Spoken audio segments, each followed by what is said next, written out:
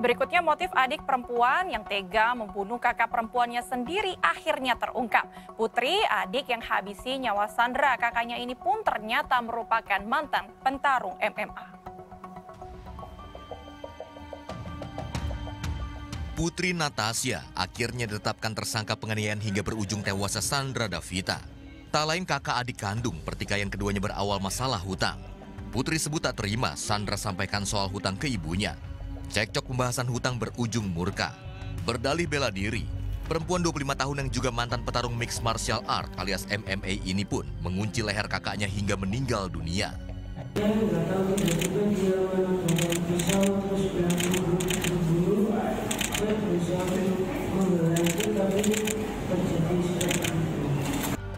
Putri sampai berupaya menutupi perbuatannya dengan lilitan kabel USB pada leher perempuan 30 tahun ini.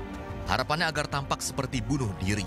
Coba mengklarifikasi ke kakaknya yang sudah lama tidak berkomunikasi. Di situ kakaknya kaget karena pagi-pagi dia datang, akhirnya terjadi cekcok lagi hingga terjadi penghilangkan nyawa korban itu.